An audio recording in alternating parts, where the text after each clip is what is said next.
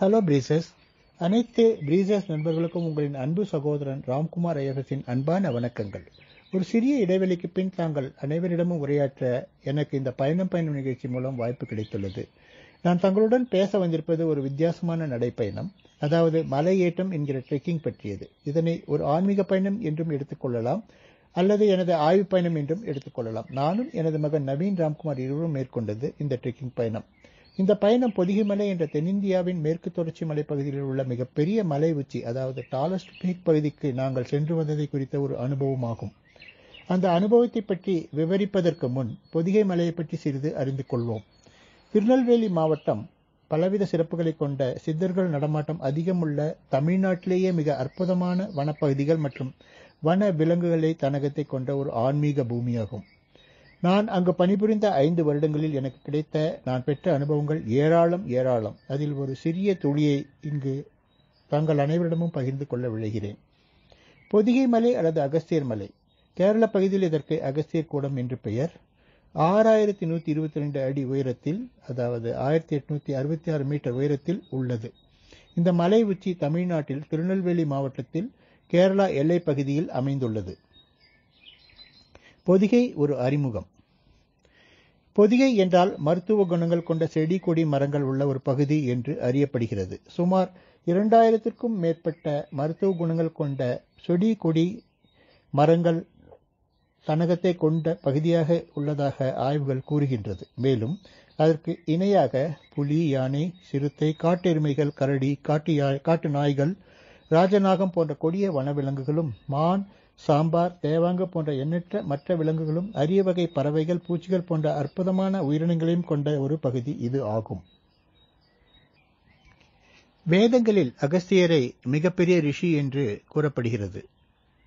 சிவபெருமானுக்கு கைலாயத்தில் திருமணம் நடந்த சமயம் அனைத்து தேவர்கள் முனிவர்கள் ரிஷிகள் சென்றதால் இந்தியாவின் வடபகுதி கீழிறங்கி தென்பகுதி மேலே சென்றதைக் கண்ட சிவபெருமான் அகத்தியரை வரவழைத்து தென்பகுதிக்கு சென்று சமநிலையை உருவாக்கச் சொல்லியதாகவும் அவரும் அப்படியே பொதிகைமலை பகுதியை தேர்ந்தெடுத்து அங்கு சென்று சமநிலையை ஏற்படுத்தி சிவபெருமான் மற்றும் பார்வதி தேவியின் திருமணத்தை அங்கிருந்தே கண்டு கழித்ததாகவும் கூறப்படுகிறது. இன்றளவும் அப்பகுதிகளில் அகஸ்தியர் உழவுவதாக மக்களிடம் நம்பிக்கை இருக்கின்றது. சிவபெருமான் அகத்தியருக்கு பொதிகை மலையில்தான் தமிழை கற்றுத்தந்தார் என்று வரலாறு கூறுகிறது. கம்பரும் ஸ்ரீவில்லிபுத்தூராரும் இதனையே உறுதி செய்கின்றனர். அகத்தியரிடம் பயின்ற பன்னிரண்டு சீடர்கள் அனைத்து கலைகளையும் பயின்றனர். அவர்களில் போகர் மிகவும் அறியப்படுபவர். மேலும் தொல்காப்பியருக்கு அகத்தியர் தமிழ் இலக்கணத்தை பயிற்றுவித்து அவற்றின் மூலம் தொல்காப்பியம் என்ற தமிழ் இலக்கணத்தை நமக்கெல்லாம் கிடைக்க வைத்தார். இவையெல்லாம் நமக்கு சுவடிகள் மூலம் தெரிகிறது. அகத்தியர் பெருமானுக்கு பொதிகைமலை உச்சியில் ஒரு சிலை வழிபாட்டிற்கு அமைக்கப்பெற்று அது ஒரு தரிசன ஸ்தலமாக விளங்குகிறது. அகத்தியரை மனதார பிரார்த்தித்து தரிசனம் செய்தால் நினைத்த காரியங்கள் நிறைவேறும் என்ற நம்பிக்கை மக்களிடையே நிலவுகிறது. பாபநாசம் பகுதியிலும் அகஸ்தியருக்கென்று தனியாக ஒரு கோவில் உள்ளது. அமாவாசை மற்றும் பௌர்ணமி தினங்களில் பக்தர்கள் பொதிகை மலை சென்று அகஸ்தியரை தரிசித்து தேங்காய் உடைத்து அதன் இரு பகுதிகளிலும் நெய்விளக்கு ஏற்றி வழிபடுவது வழக்கம். அவ்வாறு செய்தால் மழை பெய்யும் என்பது ஐதீகம். தமிழகத்தின் ஒரே வற்றாத ஜீவநதியான தாமிரபரணி இந்த பொதிகை பகுதிகளிலிருந்துதான் உருவாகிறது என்பது இன்னும் ஒரு சிறப்பு.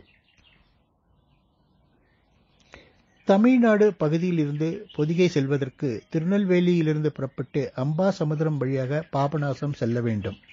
பாபநாசத்திலிருந்து மலைப்பகுதி ஆரம்பம். முண்டந்துறை வரையில் பேருந்து வசதி உள்ளது. அங்கிருந்து சுமார் முப்பது கிலோமீட்டர் நடந்துதான் செல்ல வேண்டும். வனப்பகுதியில் உள்ளது ஒற்றையடி பாதை. ஏற்ற இறக்கங்களுடன் கரடு முரடாக கற்களும் முட்களும் நிறைந்த பாதை. குறுக்கே காட்டாரும் உண்டு. கொடிய வன விலங்குகளால் ஆபத்தும் உண்டு. இவ்வளவையும் கடந்துதான் புதிய மலையை அடைய முடியும். கேரள பகுதியில் போனக்காடு என்ற பகுதி வரை ஜீப்பில் செல்லலாம். போனக்காட்டிலிருந்து சுமார் ஆறு கிலோமீட்டர் நடைப்பயணம் மேற்கொண்டு புதிகை மலையை அடைய முடியும். இதற்கான அனுமதியை கேரள வனத்துறை வழங்குகிறது. தற்பொழுது எங்களது பயணத்தை பற்றி பார்ப்போம். இரண்டாயிரத்தி ஒன்பதாம் ஆண்டு மார்ச் மாதம் இருபத்தி ஏழாம் தேதி நானும் எனது மகனும் பொதிகைக்கு செல்ல நாள் குறித்தோம். அந்த சமயம் எனது மகன் எம்எஸ் படிப்பதற்காக பிரான்ஸ் செல்ல அப்ளை செய்திருந்தார். அவனுக்கு ஸ்காலர்ஷிப்பிற்கும் அப்ளை செய்யப்பட்டிருந்தது. அதனை வேண்டி பிரார்த்தனை செய்வதும் ஒரு முக்கிய காரணமாக இருந்தது. முதல் நாளே திருநெல்வேலியிலிருந்து கிளம்பினோம். மதியம் முண்டந்தரை சென்று வன ஓய்வு விடுதியில் தங்கி மாலை அங்கே இருக்கும் சக்தி வாய்ந்த தெய்வம் சொரிமுத்தையனார் கோவிலில் தரிசனம் செய்து பிரார்த்தனை முடித்து அங்கிருந்து ஜீப்பில் உடன் பணிபுரியும் சிப்பந்திகள் காணி டிரைப்ஸ் ஆகியவர்களுடன் தேவையான உணவுப் பொருட்களுடனும் அட்டை கடிகளிலிருந்து பாதுகாத்துக் கொள்ள தேவையான மூக்குப்பொடி விபூதி பற்பசை போன்றவைகளுடனும் ஃபர்ஸ்ட் எய்ட் பாக்ஸ் டார்ச்சஸ் மற்றும் பாதுகாப்புக்கு தேவையான கன் கத்தி அரிவாள் தடிகள் ஆகியவைகளுடனும் தொடர்பு கொள்வதற்கு வயர்லெஸ் வாக்கி டாக்கி உபகரணங்கள் ஆகியவைகளுடனும் புறப்பட்டோம். முண்டந்துறை வன ஓய்வு விடுதியிலிருந்து சுமார் பத்து கிலோமீட்டர் தூரத்தில் கன்னிக்கட்டி என்ற பகுதியில் உள்ளது ஒரு பழங்கால ஓய்வு விடுதி. முண்டந்துறை வன விடுதியிலிருந்து சுமார் பத்து கிலோமீட்டர் தூரத்தில் கன்னிக்கட்டி என்ற பகுதியில் உள்ளது ஒரு பழங்கால வன விடுதி. அதற்கு சரியான சாலை கிடையாது. வனப்பகுதிகளில் அதாவது புலிகள் காப்பகத்தில் சாலைகள் போட அனுமதி கிடையாது. அங்கு மின்சாரம் கிடையாது வயர்லெஸ் மட்டுமே தொடர்பு சாதனம். எடுத்துச் சென்ற உணவை சாப்பிட்டு அங்கிருந்த அறையில் வனச்சிப்பந்திகளின் பாதுகாப்புடன் சிறிது நேரம் உறங்கினோம். அதிகாலையில் எழுந்து ஆறு மணி அளவில் புறப்பட்டோம். அனைத்து வித ஏற்பாடுகளுடன் கானிடைஸ் முன்னேயும் பின்னேயும் செல்ல நடுவில் சிப்பந்திகளுடனும் எங்களுக்கு பழக்கமான ஒரு ஆன்மீகவாதியுடனும் அங்கிருந்து புறப்பட்டோம். நாங்கள் செல்லும் ட்ரெக் பற்றிய ஒரு சிறிய விளக்கம். நாங்கள் புறப்பட்ட இடத்திலிருந்து பொதிகை மலையானது சுமார் பதினெட்டு கிலோமீட்டர் தூரத்தில் உள்ளது. கரடு முரடான கற்களும் முட்களும் நிறைந்த ஏற்ற இறங்க இறக்கங்கள் கொண்ட ஒற்றையடி பாதையாகும் அது. செல்லும் வழியாகியது குறுக்கே சிற்றாறுகளுடன் அபாயகரமான வன விலங்குகள் நிறைந்த ஒரு அடர்ந்த வனப்பகுதி. சூரிய வெளிச்சமே இல்லாமல் ட்விலைட்டுடன் இருக்கும். ரத்தத்தை உறிஞ்சக்கூடிய கண்ணுக்கு தெரியாத லீச் என்று சொல்லக்கூடிய அட்டைகளின் சாம்ராஜ்யம் அந்த பகுதி. நடந்து செல்லும்போது வழியில் புல் பூண்டு செடிகளின் நுனியில் அதே நிறத்தில் இருக்கும் அட்டைகள் நடந்து செல்வோரின் பாதம் முதல் கால்களில் தொற்றிக்கொண்டு உடலில் பயணிக்கும். எங்கு அதற்கு உடலின் திறந்த பகுதி கிடைக்கின்றதோ அங்கு தமது வாய் மூலம் ரத்தத்தை உரிய தொடங்கும். அது உறிந்தும் உறிஞ்சும் போது அது உறிந்துவது பற்றி எதுவும் தெரியாமல் நடந்து கொண்டே இருக்கும்போது முழுமையாக அது உறிந்து முடிந்ததும் தனது உடல் எடை தாங்காமல் கீழே விழுந்துவிடும். ஆனால் கடிப்பட்டவர் உடலிலிருந்து ரத்தம் நிற்காமல் வெளிவந்து கொண்டே இருக்கும். சரியாக கவனிக்காமல் இரத்த ஓட்டத்தை நிறுத்தாமல் இருந்தால் உயிருக்கே ஆபத்து நேரிடும். அத்துடன் புலி சிறுத்தை யானை கூட்டங்கள் கரடிகள் காட்டெருமைகள் காட்டு நாய்களுடன் ராஜநாகம் என்ற கொடிய விஷமுள்ள கிங் கோப்ரா மற்ற அனைத்து விஷஜந்துக்கள் நிறைந்த பகுதி அந்த பகுதி. உண்மையில் அவைகளின் வாழ்விடம் அந்த இடம். அவைகளுக்கு தொந்தரவு என்று தெரியும் போது தாக்க முற்படும் ஆதலால் அவ்வளவு கடினமான உயிருக்கே ஆபத்தான ஒரு பகுதியில் நடை பயணம் மேற்கொள்வது என்பது மிகவும் சவாலான ஒரு காரியமாகும். காணிகளின் உதவி இங்கு இன்றியமையாததாகும். அதே சமயம் போகும் வழியெல்லாம் அடர்ந்த காடுகள் உயரமான மரங்கள் நல்ல மனம் வண்டுகளின் ரீங்காரம் யானைகளின் எச்சங்கள் சூரிய வெளிச்சமின்றி இருள் சூழ்ந்த சூழ்நிலை குளிர்ந்த தென்றல் காற்று வழியெங்கும் இடைவெளி விட்டு சலசலவென்று செல்லும் தெளிந்த சிற்றார்கள் என்று மிகவும் ரம்மியமான ஒரு சூழல். இம்மாதிரியான சூழலில் நடந்து சென்று பொதிகை மலைச்சாரலை நெருங்கும் போது பயணத்தின் கடைசி எட்நூறு மீட்டர் செங்குத்தான பாறை. அங்கே மேலிருந்து கீழே இரண்டு மொத்தமான கயிறுகள் தொங்கவிடப்பட்டிருக்கும். கீழே இருந்து ஒவ்வொருவராக கயிற்றை பிடித்துக் கொண்டு பாறையில் ஊர்ந்து மேலே செல்ல வேண்டும். சிறிது தவறினால் கரணம் தப்பினால் மரணம்தான். இவ்வளவு கடினமான பிரச்சனைகள் இருந்த போதிலும் மனதில் உறுதியுடனும் அகத்திரை பிரார்த்தித்துக் கொண்டும் எங்களும் பயன் எங்களின் பயணத்தை தொடர்ந்தோம். நாங்கள் புறப்பட்டு சுமார் ஒரு மணி நேரத்தில் உடன் வந்த ஆன்மீகவாதியுடன் அவருடனும் வனச்சிப்பந்தியுடனும் அந்த பகுதியை பற்றி விவரங்களை பற்றி பேசியபடியே சுமார் மூன்று மீ கிலோமீட்டர் கடந்து விட்டோம் ஒரு சிறிய சலசலவென ஓடிக்கொண்டிருக்கும் சிற்றாறு அங்கு அமர்ந்து சிறிது நேரம் ஓய்வு எடுத்துக்கொண்டு காலை உணவை அறிந்துவிட்டு குளிர்ந்த நீரில் கால்களை நனைத்து களைப்பாற்றிவிட்டு பயணத்தை தொடர்ந்தோம். அதற்கு பின் எங்களுக்கு ஏற்பட இருக்கும் ஆபத்தை பற்றி சிறிதும் அறியாமல் அமைதியாக மலை ஏறத் தொடங்கினோம். வழியெங்கும் பயணிகளால் வனப்பகுதியே அசுத்தமாக இருந்ததையும் பிளாஸ்டிக் போன்ற விலங்குகளுக்கு அபாயம் ஏற்படுத்தக்கூடிய பொருட்கள் வீசப்பட்டிருப்பதையும் கவனித்துக் கொண்டே சென்றேன் நான். காட்டெருமைகள் புற்கள் உண்ணும்போது தெரியாமல் பிளாஸ்டிக் பைகளும் உள்ளே சென்று அதனால் அதன் உணவு பாதை மற்றும் சுவாச பாதை அடைக்கப்பட்டு காட்டெருமைகள் இறந்து விடுவது வழக்கம். இவ்வாறெல்லாம் எங்களது கவனம் மற்றும் ஆய்வு மற்றும் சிந்தனையுடன் இருந்த வேளையில் முன்னால் சென்று கொண்டிருந்த காணிகள் எங்களை சப்தம் போடாமல் அவரவர் அந்தந்த இடத்திலேயே நிற்கச் சொன்னார். பெரும் சைகை மூலம் சிக்னல் அனுப்பினார். அருகில் பெரிய யானை கூட்டம் இருப்பதாகவும் காரணம் தெரியும் முன் அந்த பகுதியை கடக்க வேண்டாம் என்றும் கூறினார்கள்.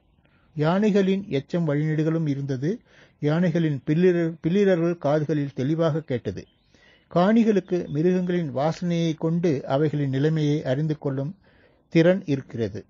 சிறிது நேரம் கழித்து ஒரு பெண் யானை பிரசவத்தில் இருப்பதாகவும் அதனைச் சுற்றி நர்சிங் எலிபென்ட்ஸ் நிறைய நின்று கொண்டு பிளிரிக் கொண்டு இருப்பதாகவும் இது ஒரு வார்னிங் சிக்னல் எனவும் நமது நடமாட்டம் பற்றி அவைகள் அறிந்து கொண்டால் நம்மையே நம்மையெல்லாம் துரத்தி துவம்சம் செய்துவிடும் எனவும் காணிகள் மூலம் அறிந்து கொண்டோம். பயம் தொற்றிக் கொண்டது.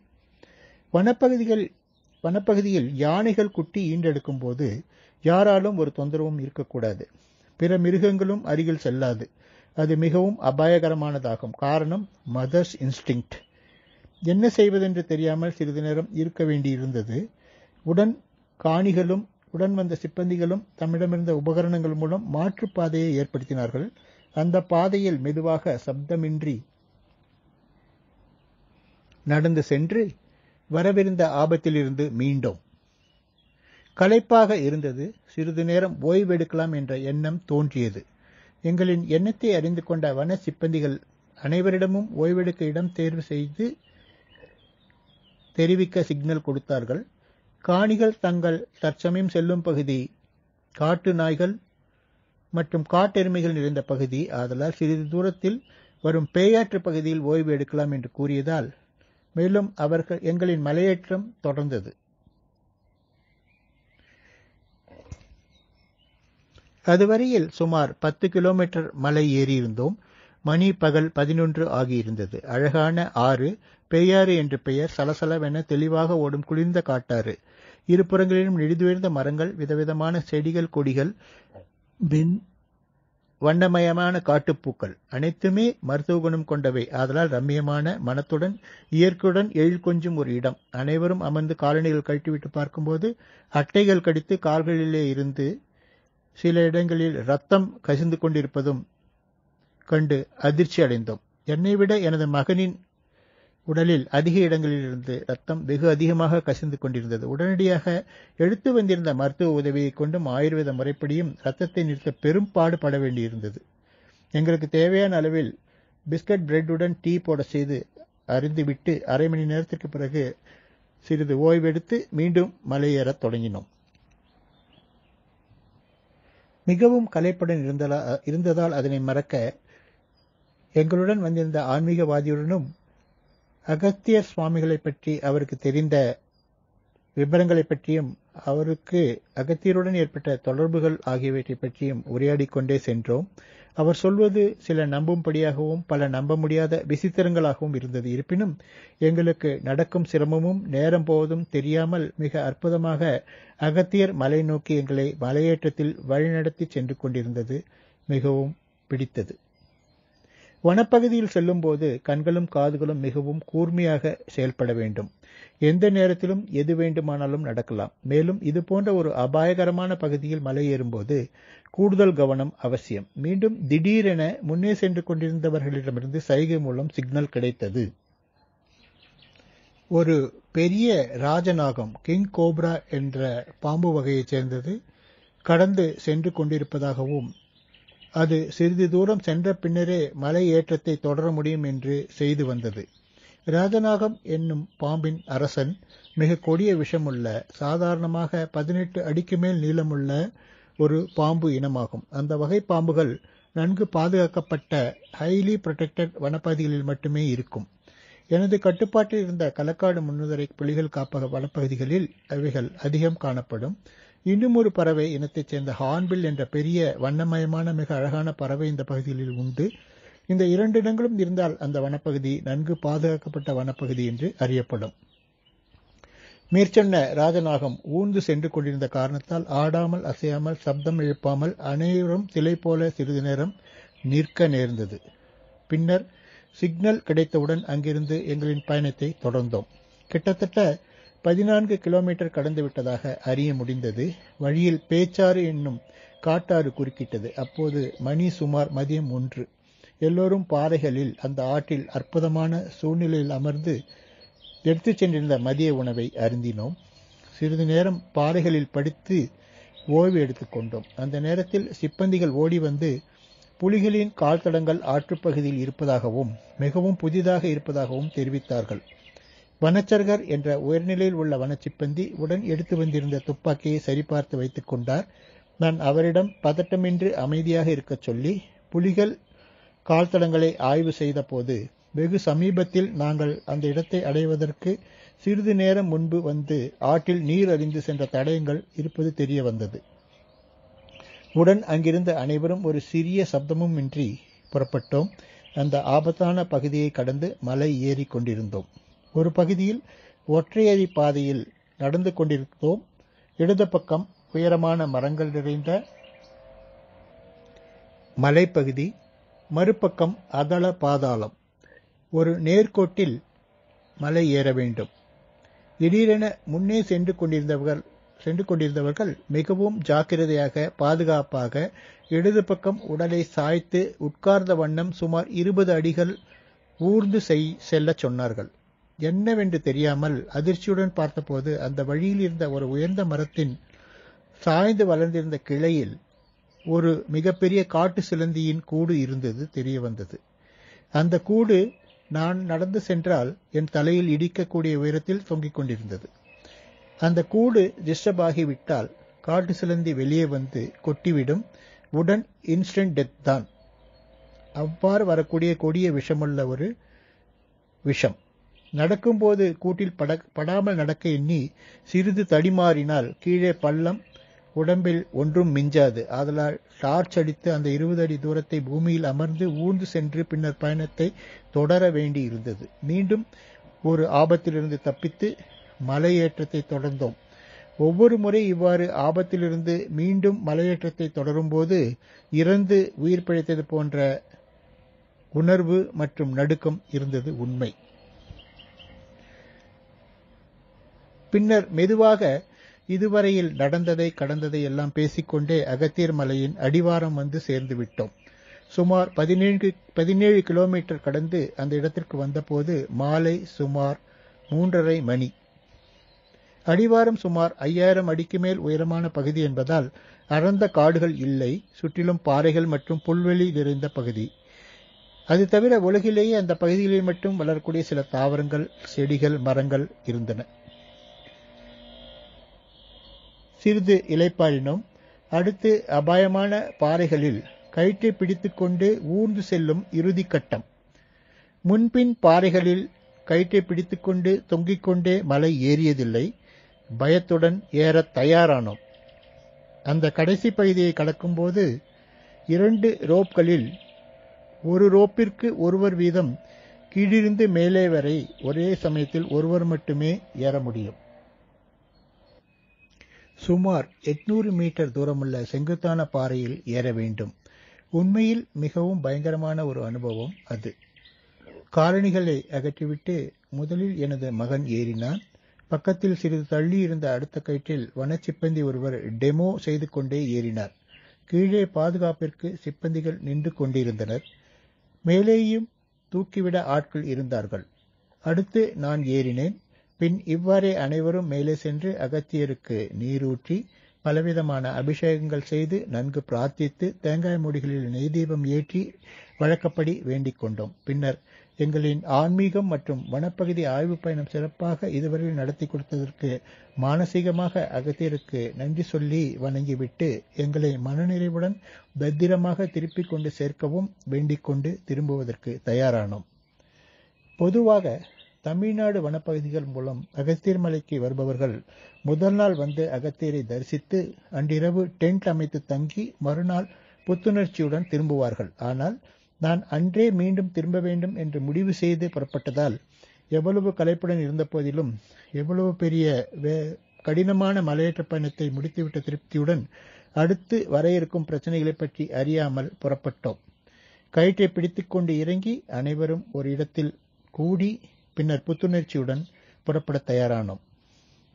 நாங்கள் அனைவரும் மாலை நான்கரை மணிக்கு எங்களது மலைப்பகுதியில் கீழிறங்கும் பயணத்தை தொடர்ந்தோம். பொதுவாக மலை ஏற்றத்தை விட இறங்குவது என்பது மிகவும் சிரமமான ஒரு செயல். அடர்ந்த இந்த காட்டுப்பகுதியில் வெளிச்சம் சுத்தமாக கிடையாது. இரவு நெருங்க நெருங்க கும்மிருட்டுதான். உடன் எடுத்துச் சென்றிருந்த சக்தி வாய்ந்த டார்ச் மற்றும் சர்ச் லைட்களின் உதவியுடன் பயணத்தை தொடர்ந்தோம். ஒரு குறிப்பிட்ட பகுதி வரை இறக்கம் என்றால் சமாளித்து இறங்கி விடலாம். தொடர்ந்து மலைப்பகுதிகளில் கரடுமுரடான பகுதியில் இருண்ட வேளையில் இறங்கும் போது இடுப்புக்கு கீழே உடலில் கட்டுப்பாடு குறைய ஆரம்பிக்கும். கால்கள் பின்னத் தொடங்கும். தடுமாற்றம் ஏற்படும். அதனால் மிகவும் கவனமாக அதே சமயம் சீக்கிரம் பயணத்தை முடிக்க எண்ணி விரைவாகவும் நடக்க வேண்டி இருந்தது. இரவு நேரங்களில் அடர்ந்த வனப்பகுதியில் கொடிய வனவிலங்குகள் ஓய்வெடுக்க உள்ள நேரம். அப்போது எந்தவித தொந்தரவும் அவைகளுக்கு ஏற்பட்டாலும் அது அபாயகரமானதாக முடியும். மேலும் எங்கும் உட்காரவோ அல்லது ஓய்வெடுக்கவோ முடியாது கூடாது. நிற்காமல் நடந்து கொண்டே இருக்க வேண்டிய கட்டாயம்.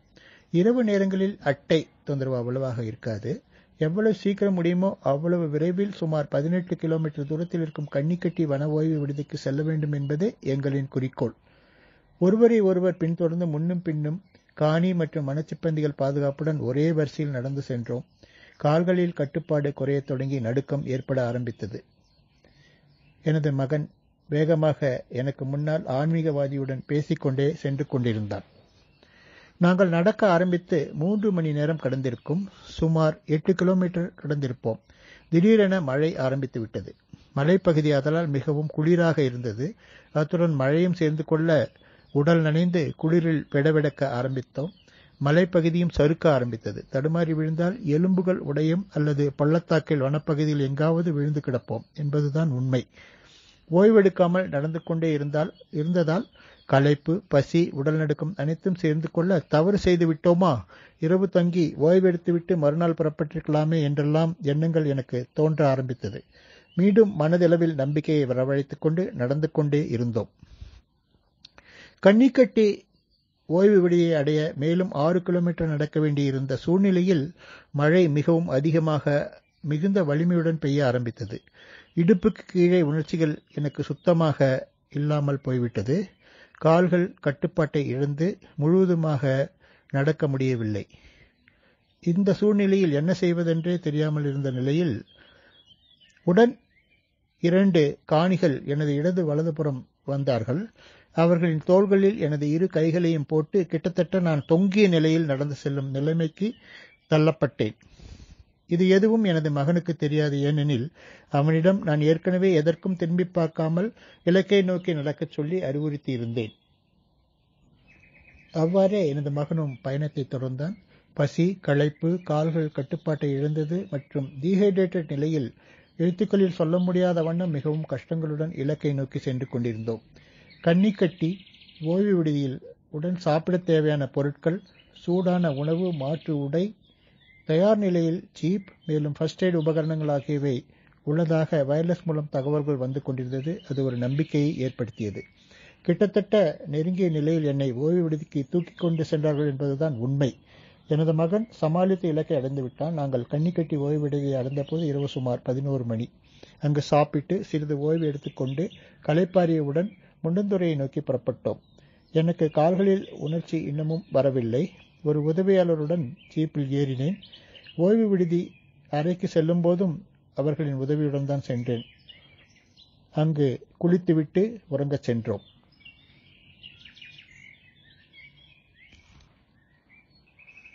மறுநாள் காலை எங்களுடன் வந்திருந்த அனைவரையும் வரச் சொல்லி காணி முதற்கொண்டு வனச்சிப்பந்திகள் வரை அனைவருக்கும் ஆன்மீக ஆன்மீகவாதிக்கும் எங்களது மனமார்ந்த நன்றியை கூறிக்கொண்டு புத்துணர்ச்சியுடன் சொரிமுத்தையனாரை தரிசித்து அவருக்கும் நன்றி சொல்லி முன்னந்துறையிலிருந்து திருநெல்வேலி கிளம்பினோம்.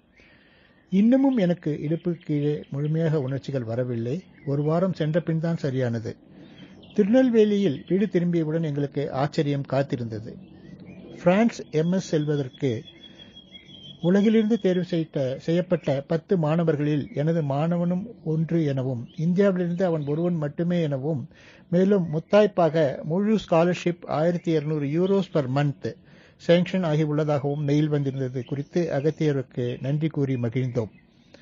அலுவலகம் சென்றதுடன் எனது முதல் வேலையாக தமிழ்நாடு பகுதியில் புலிகள் காப்பக வனப்பகுதி மூலம் பொதுகை செல்வதை தடை செய்து ஆணை வெளியிட்டேன். அதன் மூலம் புலிகள் காப்பக வனப்பகுதி வனவிலங்குகள் மதிப்பே சொல்ல முடியாத மருத்துவ குணங்களுடைய செடி கொடி மரங்கள் ஆகியவை காப்பாற்றப்பட வேண்டும் என்ற காரணத்திற்காக எடுத்த இந்த நடவடிக்கையை அனைத்து தரப்பினரும் பாராட்டினார்கள். அந்த தடை இன்றும் தொடர்கிறது. தற்போது அகத்தீரை தரிசிக்க கேரளா வழியாக வனத்துறையின் அனுமதியுடன் இன்றும் பக்தர்கள் செல்கின்றனர். எனது இந்த ஆன்மீக மற்றும் ஆய்வு பயணத்தை உங்களுடன் பகிர்ந்து கொள்ள வாய்ப்பளித்த ஃபவுண்டர் அட்மின்ஸ் திரு மணிமாதவன் அவர்களுக்கும் திருமதி கீதா ரகு சகோதரி அவர்களுக்கும் ரொட்டேஷனல் அட்மின் பிருந்தா பாலா சகோதரி அவர்களுக்கும் அமுதாச்சாரி சகோ அவர்களுக்கும் சத்யாஜி அவர்களுக்கும் மனம் நிறைந்த நன்றியை தெரிவித்துக் கொள்கிறேன். பொறுமையாக இதுவரை கேட்ட தங்கள் அனைவருக்கும் நன்றிகள் பல. வணக்கம். நன்றி.